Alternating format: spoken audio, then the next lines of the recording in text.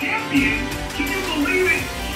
Ninja Warrior 2020. Oh my goodness, I, am losing.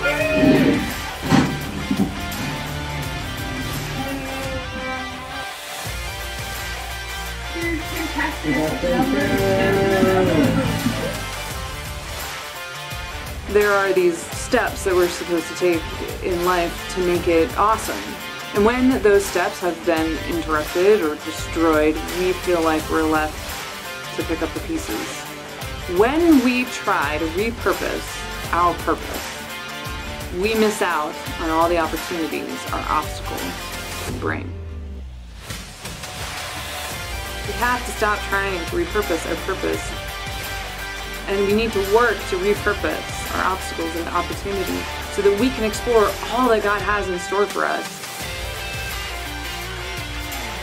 God is still God. God is still good, and He still desires to be reunited with us. And our purpose and our mission is, is still to love Him and love others. None of that has changed. It just looks different now. Things look different